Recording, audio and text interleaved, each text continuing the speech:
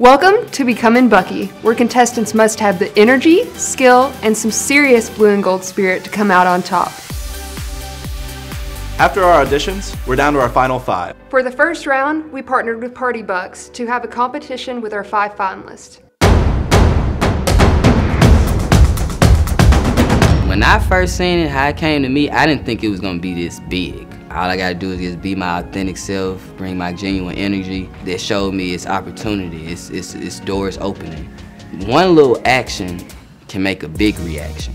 So you gotta think about what you bring to the table. You gotta think about how you treat people, how you can affect another person's day.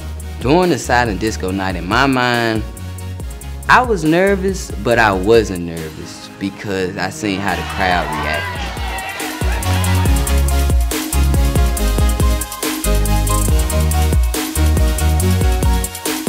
Certain things that come to you naturally, you should you should express it to the world. That was a lot of energy. Let's see who's going to match that. A friend invited me to gymnastics. I was actually on a pretty dark part of my life. My friend Luke calls me and he says, hey, you wanna go gymnastics? Like, sure. Because I just taught myself on grass. I would do it over and over and over. I was so many clips of just failing, falling, and falling. But um, I just never stopped every day. When I was about to perform for the silent disco, yeah, I got in there and it was just pitch black with my mask. I could not see anything. So I was like, well, I guess I just have to do flips blindfolded.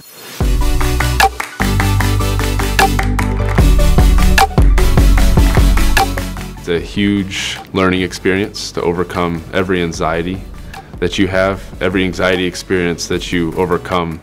You learn a little bit about yourself, you gain more experience to conquer fear and you become better. So already it's gotten me out of my comfort zone. Yeah, I definitely couldn't do that. But let's see if our next contestant can.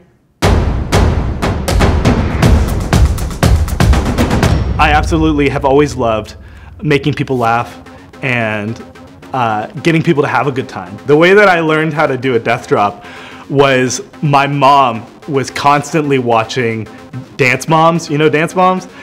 And I was like, I can do that.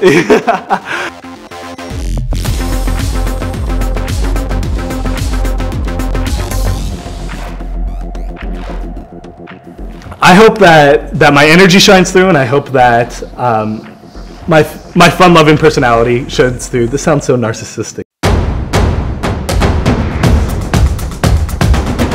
I was happy, and at the same time, I was like, "Can I do it?"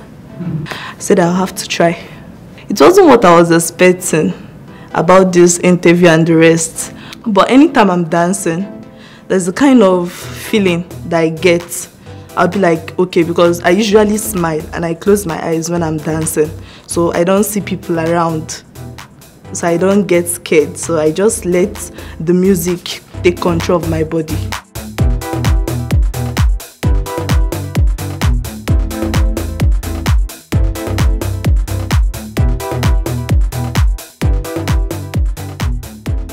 Actually, there is a saying what a guy can do, a girl can do better. So I'm just hoping that I can find myself and also do better than other guys, even though I don't know how to dance very well, but I'm sure I can actually do this. It's so interesting the different vibes we get from each contestant. Let's see another one. Soon as I saw this opportunity, I realized that it really was something that I wanted to do and always been very self-conscious about myself. Something about putting on a mask and being able to just be myself and and not what I look like on the exterior, it, it, it's a complete transformation because people aren't judging me based on what I look like. So it's it's based on who I am and how I act. You can do anything when even when you struggle with anxiety and depression and things like that. So it, it just you have to push yourself and yeah, that's that's kind of what I'm doing here. So yeah, after hearing all about the dance party, I was really bummed that I couldn't make it that night because I had work.